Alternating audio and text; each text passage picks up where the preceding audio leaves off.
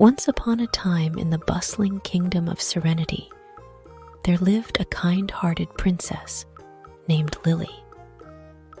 Despite being surrounded by the grandeur of the royal palace, Lily's heart was heavy with the weight of the kingdom's troubles. Serenity was facing hard times, and the once prosperous land now knew poverty. Lily's father, King Frederick, did his best to maintain order and provide for his people, but the kingdom's coffers were nearly empty. The citizens struggled to make ends meet, and the royal family was not exempt from the hardships that had befallen Serenity. Princess Lily, however, refused to let the challenges crush her spirit.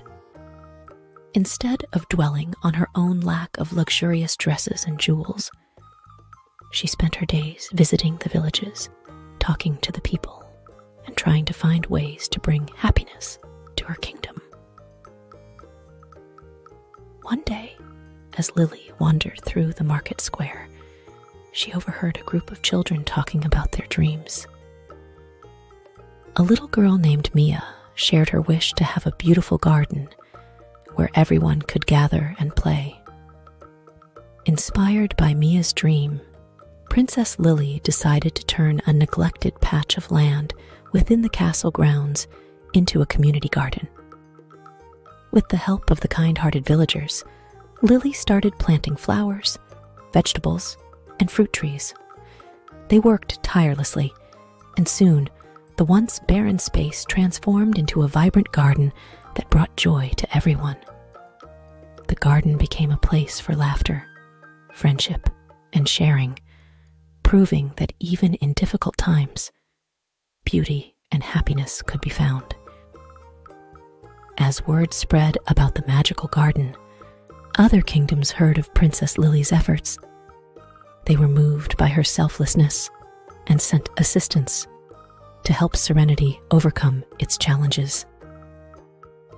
The people of Serenity, inspired by their princess, also began to work together to improve their lives.